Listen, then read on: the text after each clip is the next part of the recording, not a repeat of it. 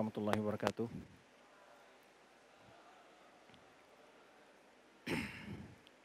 Innal wa nasta'inuhu wa wa na'udzu billahi min shururi anfusina wa sayyiati a'malina. May yahdihillahu fala mudilla wa may yudlil fala hadiya lahu. Asyhadu illallah wahdahu la syarika lah. Anna Muhammadan abduhu wa rasuluhu la nabiyya ba'dah. Amma ba'd fa inna asdaqal hadithi kitabullah wa khairal hadi hadi Muhdatsatuha wa kullu muhdatsatin bid'ah wa kullu bid'atin dhalalah wa kullu dhalalatin finnar. Ma'asyiral wal akhwat rahmati Allah Subhanahu wa taala, pujian syukur kepada Allah Subhanahu wa taala. Kembali di malam hari ini kita dimudahkan Allah Subhanahu wa taala untuk berhadir menambah pengetahuan dan ilmu kita tentang agama yang mulia ini. Salawat dan salam buat Nabi kita Muhammad sallallahu alaihi wasallam. Semoga Allah Subhanahu wa taala senantiasa membimbing kita untuk istiqomah di atas sunnahnya. Uh, sesuai dengan pembahasan yang telah kita mulai di masjid kita ini yaitu menjawab berbagai tuduhan-tuduhan negatif terhadap Syekh Muhammad bin Wahab. Itu banyak sekali tuduhan-tuduhan yang dilontarkan oleh orang-orang yang tidak bertanggung jawab. Orang-orang yang ini terbagi kepada tiga hal. Imam mereka tahu tentang dakwah Syekh Muhammad Wahab lalu berbohong di atas ya tuduhan-tuduhan tersebut mereka melakukan kebohongan-kebohongan ya imam mereka tahu persis dengan hakikat dakwah Muhammad lalu mereka melakukan kebohongan-kebohongan untuk tetap mempertahankan kebiasaan-kebiasaan yang bertentangan dengan sunnah Rasulullah SAW ataupun dengan akidah yang sahih. Yang kedua imam mereka jahil, tidak tahu tentang hakikat dan juga tidak membaca dengan kitab-kitab yang ditulis oleh Syekh Muhammad Wahab. Yang ketiga adalah orang-orang yang memang apa namanya uh, berbicara tanpa ilmu dan tidak mengenal hakikat kebenaran Islam. Sehingga walaupun dia membaca mengetahui apa-apa yang dijelaskan oleh Syekh Muhammad namun dia tidak paham mana yang benar di antara penjelasan-penjelasan para ulama sehingga orang ini adalah orang-orang yang muta'assib fanatik terhadap pemahamannya ya itu tiga golongan orang-orang yang selalu menyebarkan kedustaan dan kebohongan tentang dakwah Syekh Muhammad bin Wahab. Hal ini kita lakukan karena ingin menyelamatkan umat dari uh, kebodohan-kebodohan, tuduhan-tuduhan yang tidak sesuai dengan kenyataan sebagai membela kehormatan seorang ulama dan juga untuk menyelamatkan umat dari kebohongan-kebohongan yang menyebabkan mereka ya menghukum seseorang atau melakukan eh, tindakan-tindakan uh, yang tidak sepantasnya terhadap orang-orang yang tidak melakukan sebuah kesalahan. Ya, sehingga mereka terprovokasi dengan tuduhan-tuduhan kebohong itu yang menyebabkan mereka melakukan berbagai reaksi dan aksi untuk menentang dakwah sunnah di mana-mana dengan melabeli orang-orang yang mengajak kepada sunnah, orang-orang yang mengajak kepada tauhid dengan sebagai dakwah Wahabiyah dengan anggapan bahwa dakwah tersebut adalah dakwah yang membawa kesesatan dan membawa kerusakan di muka bumi ini. Maka oleh sebab itu kita perlu membongkar kedustaan-kedustaan tersebut demi untuk menyelamatkan kaum muslimin di propaganda dan tuduhan-tuduhan fitnah tersebut. Terakhir yang kita bahas adalah tuduhan bahwa Syekh Muhammad Wahab tidak menghormati Nabi Muhammad SAW dan bahkan mengatakan bahwa tongkat lebih mulia daripada Nabi SAW. Ini tuduhan-tuduhan. Ya, wa yaqulu Syekh rahimallahu fi takdzibi hadzal iftira.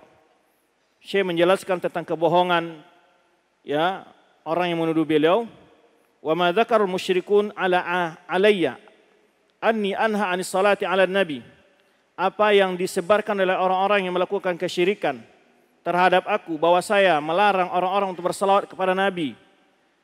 Au anni aqulu atau saya mengatakan lau anni amran seandainya saya mampu atau saya memegang urusan ini hadam tu kubatan Nabi SAW.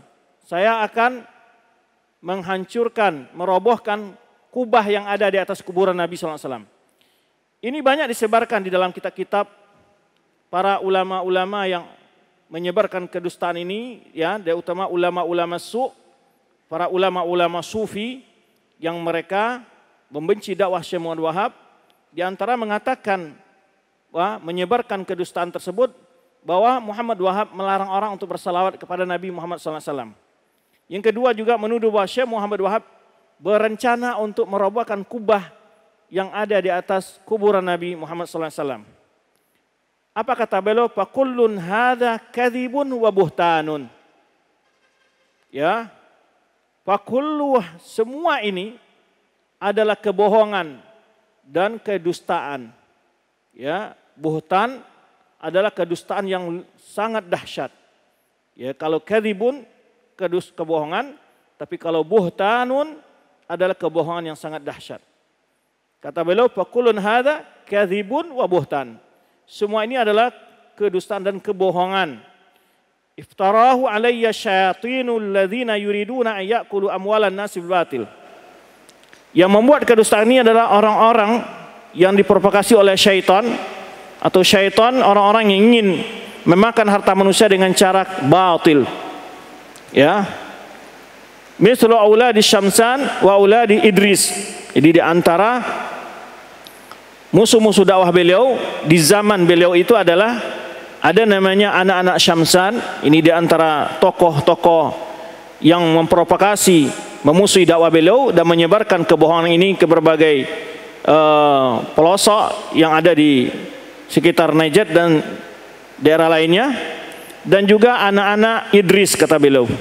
Ya, hal ini beliau sebutkan ya in hadza ba'du asma' rijal alladhi kanu kana ba'du najidin yaghluna fihim. Ini adalah nama-nama orang-orang yang dikultuskan oleh sebagian orang-orang di Najd. Ya. Kemudian hal ini dibahas oleh Syekh dalam kitab beliau Rasail Syakhsiyah li Syekh Muhammad Wahab yaitu pada jilid yang pertama halaman 101. Ya. Jadi Orang-orang ini membuat kedustaan, di antara kedustaan adalah mengatakan Syekh Muhammad Wahab melarang orang untuk bersalawat kepada Nabi dan juga berencana untuk merobohkan kubah yang ada di atas kuburan Nabi. Ini di antara kedustaan. Fakulun hadza kadzibun wa buhtanan. Kata beliau, semua ini adalah dusta dan kebohongan yang luar biasa. Dan juga Syekh menjelaskan dalam suatu suratnya yang dilayangkan kepada Abdurrahman As-Suwaidi. Abdurrahman As-Suwaidi adalah salah seorang ulama Irak. Ulama Irak ya. Mujiban an iftira Ibnu Suhaim yaitu menjelaskan tentang kedustaan yang disebarkan oleh Ibnu Suhaim. Ini nama-nama tokoh-tokoh yang membuat kedustaan-kedustaan terhadap Syekh Muhammad Wahab. Ibnu Suhaim, Auladul Ibris, Auladul Syamsan, ya alladzi arsalahu ila sa'ir buldan wa minha al-Iraq di mana Syekh mengirim eh, di mana Ibnu Suhaim ini menyebarkan kedustaan-kedustaan itu melalui surat ke berbagai daerah di antaranya ke Irak. Di antaranya ke Irak ya. Maka Syekh Muhammad Wahab berkirim surat kepada salah seorang tokoh di Irak namanya Abdurrahman Aswaidi ya. Maka beliau menyebutkan, Ya ajaban, kaifa yadukhu hadha fi aqli aqilin. Kata beliau, alangkah sangat mengherankan bagaimana bisa masuk ke dalam otak seorang yang punya pikiran. Ya. Bagaimana ini bisa masuk? Bisa diterima oleh seorang yang punya pikiran kata beliau. Apakah hal ini mungkin diucapkan oleh seorang muslim? Hal hayakul hadal muslim atau kafir? Ya. Apakah hal ini siapakah yang mengucapkan hal ini? Apakah seorang muslim atau seorang kafir? Arifun atau majnun? Orang yang berilmu atau orang gila? Jika beliau ketika menyebutkan tuduhan-tuduhan itu beliau mengatakan orang yang mengatakan ini kata beliau bagaimana bisa menerima ungkapan itu? Karena ungkapan itu tidak mungkin keluar kecuali ya orang-orang yang gila atau orang-orang yang kafir kata beliau. Tidak mungkin seorang muslim hal yakul hada muslim Mungkinkah sebagai seorang muslim mengucapkan hal ini? Ya. Atau seorang kafir, atau arifun, atau majnun, Ataukah ini ungkapan orang yang berilmu atau ini ungkapan yang orang gila? Wa kadzalika qauluhum. Jadi kita beliau menjawab tuduhan bahwa beliau apa? Melarang orang untuk bersalawat kepada Nabi Muhammad SAW. Maka dari situ sering terdengar mereka ke mana-mana menyebarkan kedustaan ini bahwa orang-orang yang mereka cap sebagai Wahabi anti salawat, anti salawat. Taib. Kemudian beliau mengatakan, demikian pula perkataan mereka, ya tuduhan mereka, anahu yaqulu law aqdaru aqdiru ahdimu kubatan Nabi SAW lah hadam Tuhan. Demikian pula tuduhan mereka kata Syekh Wahab, ya dia mengatakan bahwa kalau seandainya saya mampu, saya akan robohkan kubah yang ada di atas kuburan Nabi Sallallahu Alaihi Wasallam. Ai minal buhtan Ah, ini adalah bagian dari bentuk kedustaan.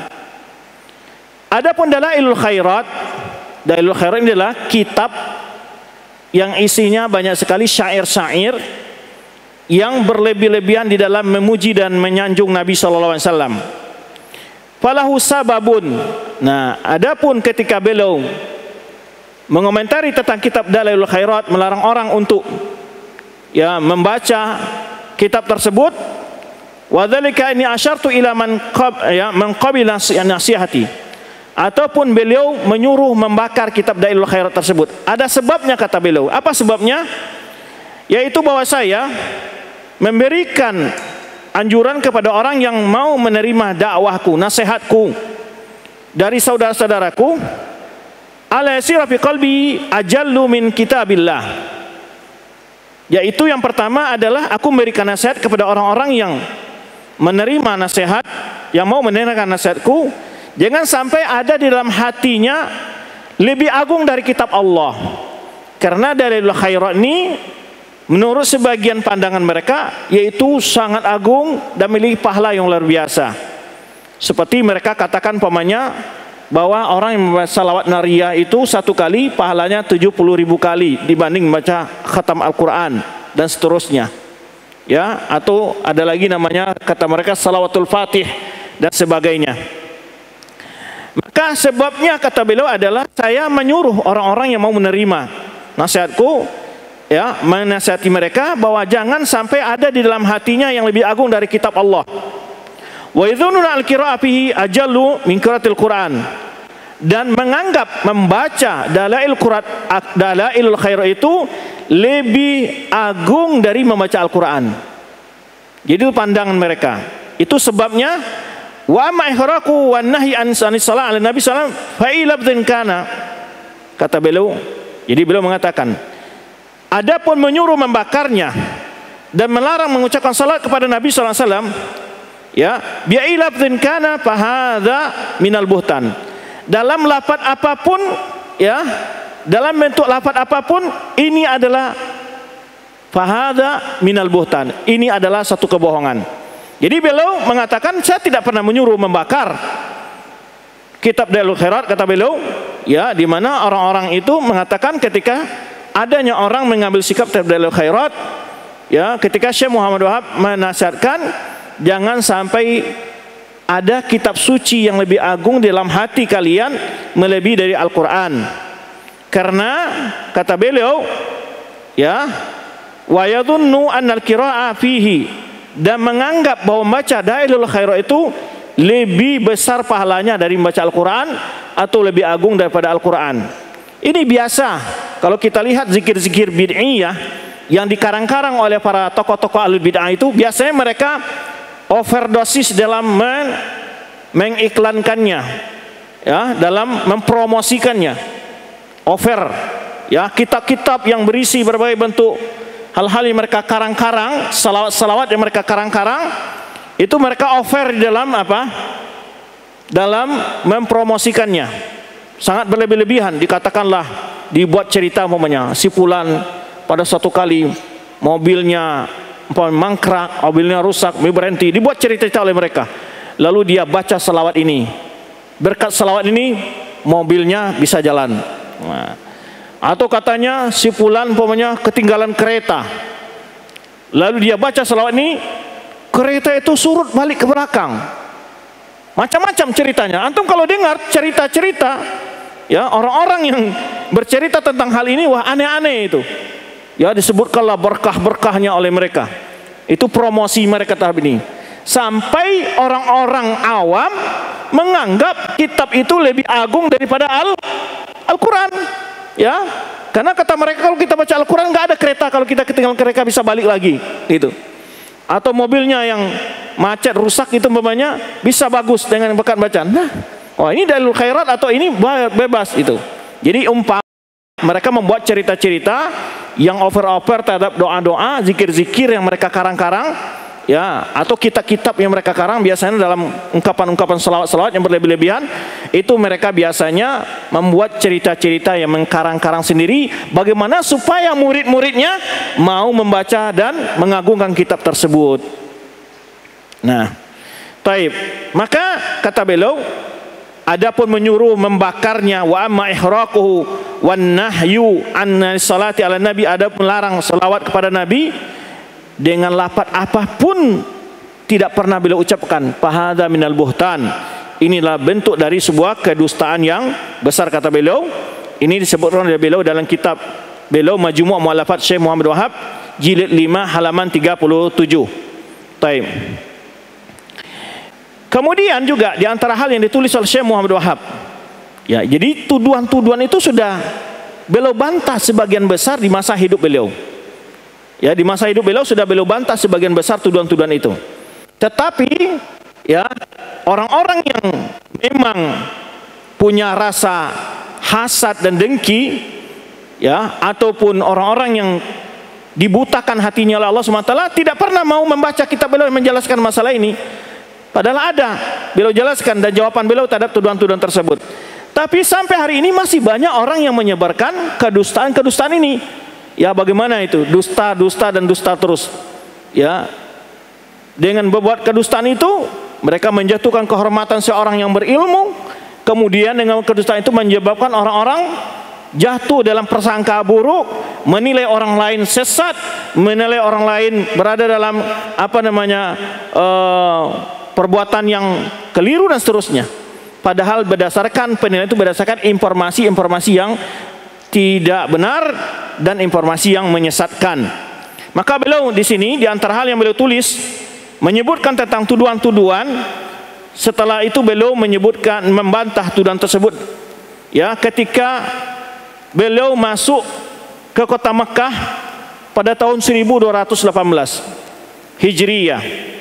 Ya setelah beliau menyebutkan hadil muftarayat uh, enam muftarayat berbagai bentuk tipuan-tipuan ini uh, bohong-kebohongan ini summa muaqiban 'alaiha bidahdi waraddi kemudian beliau setelah itu melanjutkan dengan bantahan dan apa namanya jawaban hina dakhla makkah fi muharram. Ketika beliau masuk kota Makkah pada tahun 1218 Hijriah.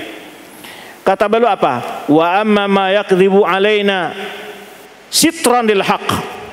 Adapun orang-orang yang membuat kedustaan atas nama kami kata beliau untuk menutup kebenaran wa alal khalq untuk membuat keraguan kebimbangan kepada manusia bi anna nada min turfati nabina Muhammad SAW bahwa kami dituduh melecehkan kedudukan Nabi Muhammad wasallam. Ya dengan mengatakan ya bahwa kami mengatakan an-nabi rammatun fi qabr qabrah nabi itu adalah onggokan apa namanya tulang belulang yang berada di dalam kuburan dalam sebuah lubang jadi dituduh Syekh Muhammad Wahab mengatakan bahwa nabi itu adalah hanya seonggok tulang yang sudah men menjadi debu di dalam kuburan. Itu di antara kebohongan bahwa hal itu dituduhkan semua orang mengatakan hal itu.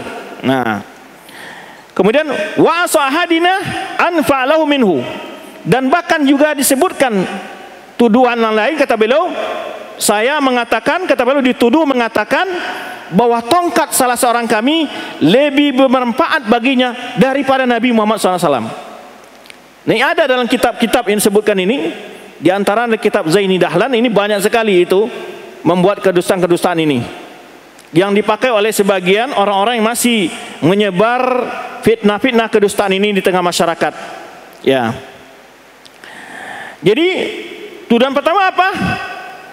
Syekh Muhammad Wahab dituduh mengatakan bahwa Nabi SAW itu dah anggukan tulang yang sudah menjadi debu dalam lubang kuburan. Perkataan lain yang dituduhkan kepada beliau adalah bahwa tongkat salah seorang kami lebih bermanfaat baginya daripada Nabi Muhammad SAW. Walaisalau syafa'ah dan juga mengatakan kami bahwa Nabi SAW tidak punya syafaat. Ini tuduhan-tuduhan ini. Maka selalu mereka menyebutkan tuh bahwa Wahabiyun, orang Wahabi itu anti syafaat, anti tawasul, anti salawat, dan seterusnya. Itu biasa mereka sebarkan ke mana-mana. Wa ziarah tahu gairah mandubatin. Juga menuduh bahwa Syekh Muhammad Wahab mengatakan ziarah kubur Nabi SAW tidak dianjurkan. Gairu mandubah. Tidak dianjurkan. Nah ini juga mereka sebarkan tuh. Oh Muhammad Wahab itu ajarnya adalah anti ziarah kubur. Nah. Wa annahu kana la ya'rifu ma'na la ilaha hatta anzala unzila alaihi fa'lam annahu la ilaha illallah. Bahkan juga Syekh Muhammad Wahab dituduh bahwa Nabi Muhammad SAW tidak paham makna kalimat la ilaha Allah sampai Allah menurunkan kepada Nabi SAW ayat yang berbunyi fa'alam annahu la ilaha illallah. Ketahui bahwa tiada yang disembah kecuali Allah. Jadi ini tuduhan-tuduhan bahwa Syekh Muhammad mengatakan hal itu bahwa Nabi Muhammad tidak paham tauhid sampai turun ayat ini. Nah ma'a qaunil ayat madaniyah. Padahal sebenarnya kata beliau sudah jelas ayat ini adalah ayat Mada Madinah maksudnya apa? Ayat turun di Madi. Lah, Nabi SAW turun berada di Madinah. Ayat ini turun di Madinah berapa lama sebelum berhijrah Rasulullah SAW berdakwah di Mekah? 13. Jadi Nabi SAW kepada apa dinawah kalau bukan tidak paham tauhid? Nah, ini bentuk-bentuk kedustaan yang mereka sengaja karang-karang, mereka reka-reka, lalu dikatakan bahwa ini adalah pemikiran pandangan Muhammad bin Abdul Wahab kata mereka. Ini ada dalam karang-karang mereka, dalam tulisan-tulisan mereka. Lalu sebagian mereka juga menyebarkan ke berbagai negara buku-buku ini uh, diwariskan oleh mereka dan diajarkan kepada murid-murid mereka. Nah, ini di antara tuduhan. Ya. Kemudian juga wa annana nanha anis salati ala nabi ini beliau katakan ini di kota Mekah waktu itu. Dan juga kami dituduh bahwa kami melarang untuk mengucapkan salat kepada Nabi Muhammad sallallahu alaihi wasallam. Ah. Fala wajha lidzalika fa jami' hadhil al-khurafat wa asbahuha lamma stafhamna anha min dzikrin awalan kana jawabuna fi kulli mas'alati min dzalika subhanaka hadza buhtanun azim fala wajha lidzalik Hal itu tidak ada benarnya sama sekali. Semua kedustaan, kebohongan ini dan seumpamanya bila kami bertanya ditanya tentang itu, jika kami ditanya tentang hal-hal itu yang ditanyakan tentang masalah tadi, baik dari min awalan oh ya man awalan jika kami ditanya tentang orang yang bertanya yang pertama kepada kami karena jawabuna maka jawaban kami adalah dalam setiap masalah yang disebutkan itu subhana maha suci engkau ya Allah. Hadza buhtanun azim. Sungguh ini adalah sebuah kedustaan yang sangat besar. Maka beliau katakan ya semua ke itu tidak ada kebenarannya kata beliau. Ya semua kebohongan-kebohongan itu dan seumpamanya. Lamastafhamna anha. Ya kalau seandainya kami ditanya maka jawaban kami kepada orang yang baru pertama bertanya kepada kami adalah jawaban kami adalah dalam setiap masalah itu adalah kami mengatakan subhanak hadza buhtanun azim. Maha suci engkau ya Allah. Ini adalah kedustaan yang sangat luar biasa. Paman rawa anna syai'an min dzalika. Barang siapa yang merawikan yang menghikayatkan dari kami tentang hal itu au nasabahu ilaina atau menisbahkan hal itu kepada kami faqad kadzdzaba alaina waftara sungguh dia telah berdusta atas nama kami dan membuat kebohongan nah Ini kedustaan-kedustaan yang selalu disebarkan sampai hari ini oleh sebagian kelompok. Terutama adalah kelompok-kelompok fanatik dari kaum sufi. Ya. Lalu beliau mengatakan, "Paman syahada halana." Orang yang menyaksikan kondisi kami, wa hadara majalisana dan menghadiri majlis-majlis kami, wa tahaqqaqa ma'ana dan dia ingin membuktikan hal itu bersama kami, alima qat'an dia akan mengetahui secara pasti anna jami'a dalika bahwa semua hal itu wada'ahu waftarahu alaina a'da'uddin semua itu adalah kebohongan yang dibuat oleh musuh-musuh agama wa ikhwanus syayatin dan teman-teman setan kata beliau semua itu dilakukan dibuat dikarang ya oleh orang-orang yang berdusta ya atas nama kami dari kalangan musuh-musuh agama dan teman-temannya setan. Tanfiran linnas, tujuannya apa?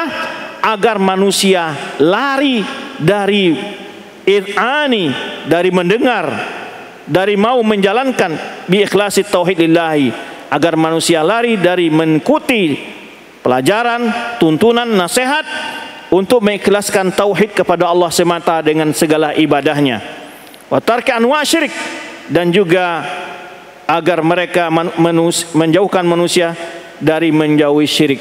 Ya, tujuannya adalah agar orang lari dari nasihat-nasihat dari tuntunan-tuntunan yang mengajak untuk mengikhlaskan ibadah kepada Allah SWT dan meninggalkan segala bentuk kesyirikan. Baik. Lalu beliau menyebutkan Bagaimana keyakinan beliau? Walladzi na'taqiduhu.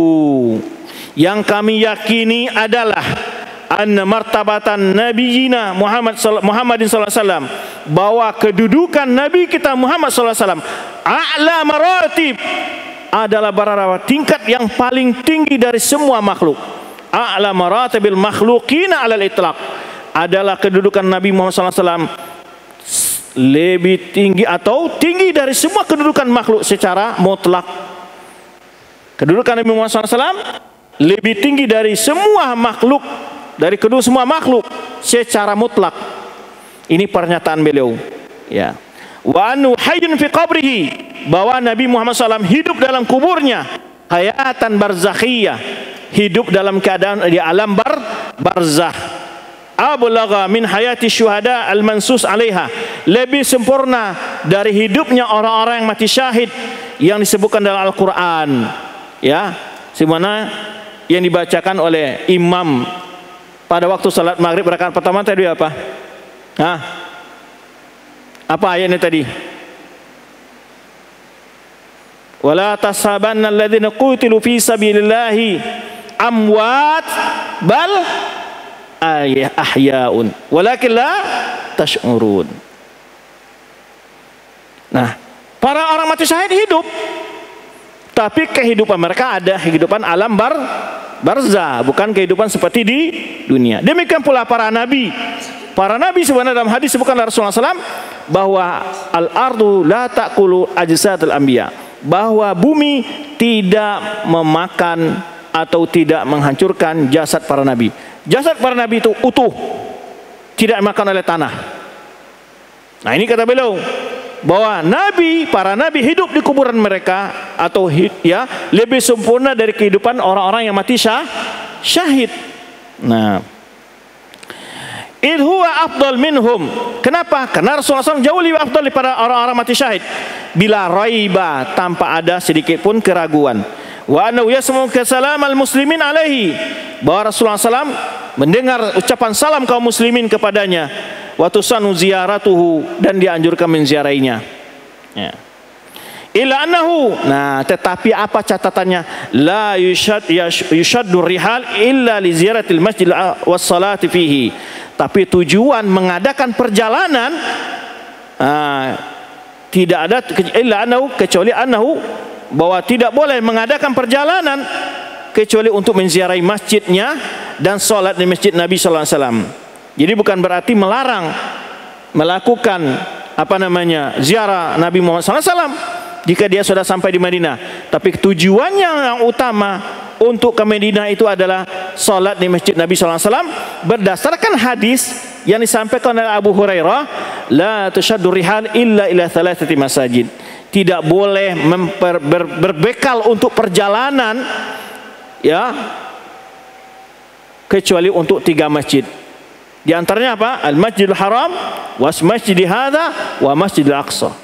Yaitu ke masjidil haram masjid Nabi SAW dan masjidil aqsa. Itu tiga masjid yang dianjurkan untuk diziarahi dengan mengorbankan waktu tenaga dan harta. Nah tapi bukan berarti ketika sampai di Mina boleh menziarahi kubur Nabi SAW tapi adakah tujuan kita dianjurkan bersusah payah mengumpulkan duit? Tujuannya untuk ziarah Nabi saja itu yang tidak ada dalilnya. Maka beliau berdasarkan hadis Nabi SAW tapi ketika orang berada di Madinah dianjurkan dia untuk berziarah ke kuburan Nabi Muhammad SAW maka beliau mengatakan wa idza qasada ma'dzalika ziyarah jika dia ketika mau menziarah masjid Nabi SAW kemudian bersama dengan itu dia ingin berziarah ke masjid ke kuburan Nabi SAW fala ba'sa tidak ada masalah. Wa man apaka awqatahu bil istighal bis salati alaihi alaihi satu sam dan begitu pula orang yang mengisi banyak waktu-waktunya untuk menyebutkan berselawat kepada Nabi Muhammad wasallam al-warid anhu yaitu selawat yang memang diriwayatkan dari Nabi wasallam. Bukan selawat-selawat yang isinya penuh dengan berlebih-lebihan kata-kata yang tidak pantas yang diucapkan kecuali kepada Allah yaitu selawat yang yang diriwayatkan arwaidah anhu yang memang diriwayatkan dari beliau faqad faza bisaatidar itulah sungguh orang itu akan beruntung dengan kebahagiaan dunia akhirat. Wa kafahammu Allah akan cukupkan segala kebutuhannya. Allah akan jauhkan dari kesedihan dan gundah gelana. Sebagaimana kamaja al hadis anhu. Sebagaimana terdapat dalam hadis dari Nabi sallallahu alaihi wasallam. Jadi apa beliau mengingkari selawat tidak. Ya. Baik, kita lanjutkan. Ini pernyataan-pernyataan yang beliau tegaskan dalam beberapa kitab beliau ketika menjawab tuduhan-tuduhan yang dibuat oleh orang-orang yang membenci dakwah beliau dengan penuh kedustaan dan kebohongan. Dan beliau tadi sudah kita sampaikan bagaimana keyakinan beliau dalam memuliakan Nabi Muhammad wasallam dan pula masalah menziarahi kuburan beliau dan seterusnya. Berkata Imam Abdul Aziz bin Muhammad bin Su'ud. Nah, Imam Abdul Aziz ini adalah yaitu bapak Raja Salman yang sekarang. Salman bin Abdul Aziz bin Muhammad bin Saud. Menjelaskan tentang wajibnya mengagungkan Mustafa sallallahu alaihi wasallam. Itu Nabi Muhammad sallallahu alaihi wasallam. Amma qauluka anna an-nas min ashabina yang yang yang, yang qimuna alaikum fi ta'dhimin Nabi al-Mukhtar Adapun engkau mengatakan bahwa orang-orang dari sahabat-sahabat kami yaitu melarang kalian atau membenci kalian dalam mengagungkan nabi yang dipilih oleh Allah Subhanahu wa taala ya Nabi Al-Mukhtar sallallahu alaihi wasallam panaqulu ya. Bal balillahu subhanahu wa taala iftara ala nasi mahabbatan nabi sallallahu alaihi wasallam wa tawqirahu maka kami akan mengatakan akan tetapi Allah telah mewajibkan atas manusia mencintai Nabi sallallahu alaihi wasallam wa taqirahu dan mengagungkannya. Wa yakuna habba ilaihim min anfusihim. Dan Nabi Muhammad, menjadikan Nabi Muhammad wasallam itu orang yang paling mereka cintai ya melebihi dari mencintai diri mereka min anfusihim wa uladim dan anak-anak cucu mereka. Wan nasi ajma'in dan manusia seluruhnya Lakin lam ya'murna bil fihi. Tetapi Nabi Muhammad wasallam tidak pernah menyuruh kita untuk berlebih-lebihan dalam memuji beliau wal itra'i fihi. Ya, hulu, ekstrim, ya, dalam berlebih-lebihan apa? mencintai. Bal huwa sallallahu alaihi Bahkan Nabi wasallam yang melarang hal itu. Itu seperti mana terdapat dalam hadis ketika ada sebagian sahabat mengatakan ya, anta khairuna wa ibnu khairina Ya. Maka Rasulullah mengatakan qulu ba'di qaulikum wa la istaswiyannakum syaitan. Engkau akan sebagian kapal kalian jangan sampai setan mengelincirkan kalian dari kebenaran. Ya.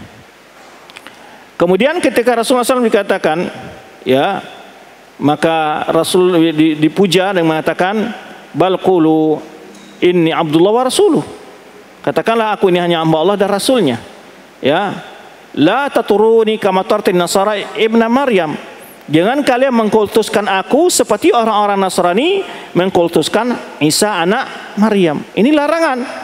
Jangan sampai ya melampaui batas di dalam mengekspresikan cinta dengan kata mau sikap terhadap Nabi Muhammad sallallahu alaihi wasallam. Taib. Di antara penjelasan Syekh Abdullah bin Abdurrahman Ababatin dalam kitab beliau Taksisu At-Taqdis fi kasfi talbis Ibni Jarjis, yakni Ibni Jarjis inilah salah seorang juga yang membuat kebohongan tuduhan-tuduhan bohong terhadap Syekh Muhammad Wahab lalu dibantah oleh seorang ulama yang bernama Abdullah bin Abdurrahman Ababatin yaitu judul kitabnya Taksisut Taqdis fi kasfi talbisi Ibni Jarjis ya.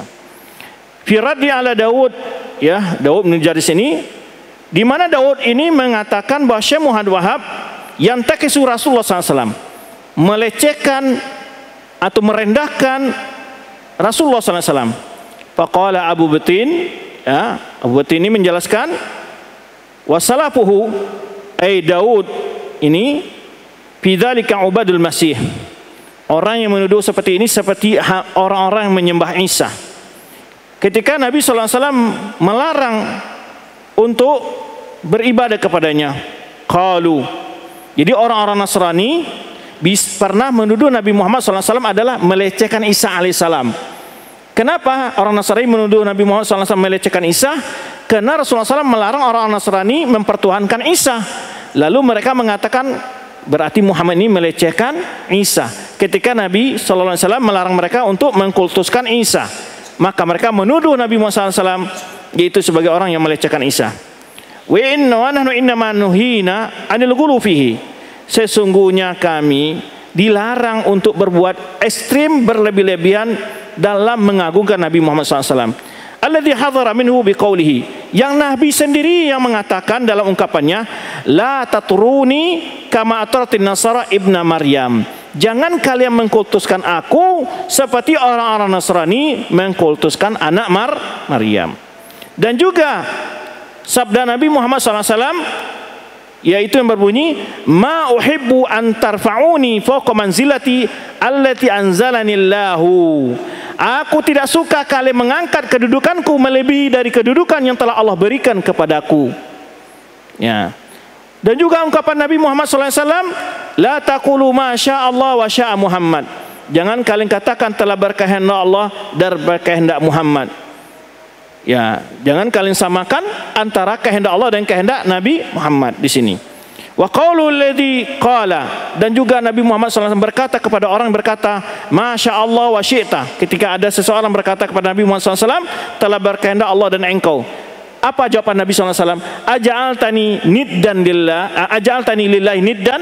Apakah engkau menjadikan aku sekutu bagi Allah? Ini bukti-bukti bagaimana ya menjelaskan kedudukan cinta kepada Nabi Muhammad SAW tidak boleh melebihi batas-batas yang telah ditentukan oleh Nabi Muhammad SAW. Berlebih-lebihan adalah sikap yang dicegah, yang dilarang, yang di apa namanya tidak disukai oleh Nabi Muhammad SAW. Makanya orang mengatakan Sya Allah wa syi'ta Rasulullah langsung menegaskan apakah engkau menjadikan aku sekutu bagi Allah. Taib. Kemudian ada ulama Irak namanya Muhammad Syukri Alusi yang juga menjawab tentang tuduhan bohong ini. Fayaqul beliau mengatakan, wa ajabu min hadha taqawulun hadzal iraqi min al mubtadi'a wal ya. kata beliau yang sangat mengherankan adalah kedustaan orang seorang orang Irak ini ini orang Irak ini adalah yang tadi yang dibantah itu Ibnu Jarjis ini dari kelompok orang-orang al-bid'ah dan orang-orang yang gulu yaitu terhadap orang menegakkan kebenaran yang menyususkan sifat uluhiyah itu atas Allah yang menciptakan semua makhluk. Menuduh bahwa mereka orang-orang yang melecehkan Rasul SAW dan Nabi yang mulia. Dan menisbahkan kepada mereka malaiku bi'atabihi hal-hal yang tidak pantas. Ya subhana ilahul ma ahlamuhu wa ma ajal sultani wa azamuhu jadi kata beliau maha Allah Tuhan yang semua makhluk ya betapa lembutnya Allah dan bahwa agungnya kekuasaan Allah dan kebesarannya. Ini di antara jawaban-jawaban para ulama yang membantah tuduhan-tuduhan kebohongan tersebut terhadap Syekh Muhammad bin Wahab. Ada salah ulama Najd membantah dalam tulisannya terhadap sebuah or, sahibul jarida kiblah. Jadi ada namanya koran itu koran kiblah, jarir kiblah. Ketika penulis ini ya pemilik koran ini menuduh bahwa Muhammad Wahab dan pengikut-pengikutnya mengatakan bahwa tongkat lebih bermanfaat daripada Nabi. Ha, menuduh demikian terhadap Syekh Muhammad. Fasta'zama syana'ata hadzal iftira' wa qubhahu. Lalu ulama Najd ini melihat betapa kejinya kebohongan ini dan apa namanya uh, kejamnya kebohongan tersebut. Kemudian summa aqabu bi takdzib li hadil firyah. Kemudian dia bantah ya mendustakan betapa dusta membuktikan kedustaan tuduhan ini. Summa bayan makami Nabi Muhammad SAW wa malu min hukuk. Kemudian beliau menjelaskan tentang kemuliaan kedudukan Nabi Muhammad SAW dan hak-hak Nabi Muhammad SAW dan kewajiban-kewajiban yang harus kita tunaikan kepada Nabi Muhammad SAW. Faka mimma yaqulu ya Maka di antara yang dikatakan oleh ulama Najd ini ketika membaca dalam satu koran menuduh bahwa Nabi uh, Syekh Muhammad Wahab mengatakan tongkat lebih bermanfaat daripada Nabi Muhammad SAW apa kata beliau Allahu akbar ala haula'il malahida alladziina yunfiru yunaffiruna an-nas 'anil dukhul fi dinillah Maha besar Allah ya Allah Maha kuasa Maha besar terhadap mereka-mereka orang-orang yang berupaya membuat manusia takut dari masuk ke dalam agama Allah. Wa yasudduna an sabilillah. Mereka berupaya menghalangi orang dari jalan Allah. Man amana bihi dari beriman kepadanya. Wa yabuna iwaja. Mereka menginginkan agar jalan Allah itu bengkok. Wa yas'auna fil ardi fasada. Mereka berjalan di muka bumi dan membuat kerusakan. Wallahu la yuhibbul mufsidin. Allah tidak suka kepada orang berbuat kerusakan. Walau syaa rabbuka ma fa'alu fadharuhum ma yaftarun. Kalau bukan karena Tuhanmu mereka tidak akan berbuat demikian. Biarkan mereka dan apa yang mereka kedustakan. Walitas qali afatul ladzina la yu'minun. Yang dapat menerima ungkapan itu hanyalah orang-orang hati-hati orang tidak beriman dengan alladzina la yu'minu bil akhirah, orang tidak beriman dengan akhirat. Liyardahu wa liyaktarifu. Agar mereka redha kepadanya dan tarifu mahum muktarifun. Dan mereka membuat kedustaan ya terhadap apa yang mereka dustakan. Pemana sebahada ilaina. Orang yang menisbahkan ungkapan tersebut kepada kami. Waftarahu alaina. Dan membuat kedustaan atas kami fa'alaihi na'latullah. Semoga Allah melanatnya wal malaikah wan nasi ajmain. La yaqballahu minhu sarfan wala adlan. Allah semoga Allah tidak menerima darinya amalan wajib dan amalan sunnahnya. Wa fadahahu ala ru'usil ashad semoga Allah membongkar kebusukannya di atas hadapan di hadapan para manusia. Yauma la yanfa'u malun yauma la yanfa'u zalimuna ma'dziratuhum. Ketika di hari yang tidak lagi bermanfaat alasan bagi orang-orang yang berbuat zalim. Walahumul la'na walahum su'ud dar. Bagi mereka itu adalah laknat dan bagi mereka akibat yang buruk. Ini ucapan salah seorang ulama Najd ketika membantah ungkapan salah seorang penulis di dalam koran kiblah. Lalu mengatakan, "Wa ya subhanallah, kaifa yatasawwar wuqu' hadza aqilun?" au jahilun au majnun. Lalu mengatakan, bagaimana bisa terbetik dalam pikiran seseorang ini? Ya. Dari orang berakal atau orang gila atau jadi ini tidak mungkin muncul dari orang berakal kecuali orang gila atau orang bodoh. Wala yakunu hadza min yu'min billahi wa yawmil akhir. Tidak mungkin ungkapan itu akan lahir dari orang beriman dengan Allah dan hari akhir. Wa ya'lamu annahu mawqufun baina yadillahi wa mas'ulun an zalika. Dan dia menyadari bahwa dia akan berdiri di hadapan Allah dan akan ditanya tentang hal itu balla yaqulu illa man huwa adallu min himari ahli tidaklah mengatakan ungkapan tersebut kecuali orang yang lebih sesat daripada himar ya na'udzubillah min rainiz dzunubi wa intikasil qulubi ma yakunu lana an natakallama bihadza subhanaka hadza buhtanun azim ya kita belum dengan Allah dari tutupan dosa ya dan berbaliknya hati Tidaklah pantas bagi kami mengucapkan hal ini. Maha suci engkau ya Allah. Ini merupakan kedustaan yang sangat besar kata beliau. bal nashhadu wal malaikat nashhadu Allah wal malaikatu wa jamal khali anna nashhadu anna Muhammadan abdu wa rasuluh wa aminuhu ala wahyihi. Bahkan kami bersaksi kepada Allah dan malaikat-malaikat dan semua makhluknya bahwa kami bersaksi bahwa Muhammad itu adalah hambanya dan rasulnya. Wa aminuhu dan kepercayaannya atas wahyu. Wa khiratuhu dan pilihannya dari hamba-hambanya. Khiratuhu min khalqi arsalahu lahu rahmatan lil alamin yang Allah telah mengutusnya sebagai rahmat bagi seluruh alam wa qudwatan lil alamin dan juga tauladan bagi seluruh manusia. Taib. Ini secara ringkas jawaban-jawaban terhadap tuduhan tersebut sudah kita buktikan dari data-data yang terdapat di dalam kitab-kitab Syekh Muhammad Wahab itu sendiri ataupun dari uh, penguasa uh, yang hidup yaitu Raja uh, Abdul Aziz ya bin Muhammad bin Saud ya yang tadi juga mengatakan demikian para ulama-ulama yang mengenal kitab-kitab beliau mempelajari kitab beliau membantah tuduhan-tuduhan yang tidak benar tersebut yaitu tuduhan mengatakan bahwa tongkat lebih mulia daripada Nabi Muhammad SAW dan seterusnya. Dan masih banyak sebetulnya jawaban-jawaban para ulama dari berbagai uh, penjuru dunia yang mengerti tentang dakwah Syekh Wahab dalam tulisan-tulisannya. Demikian dulu wallahu a'lam bishawab. Subhanakallah wa bihamdika asyhadu an la ilaha anta astaghfiruka wa atubu ilaik. Wassalamualaikum warahmatullahi wabarakatuh.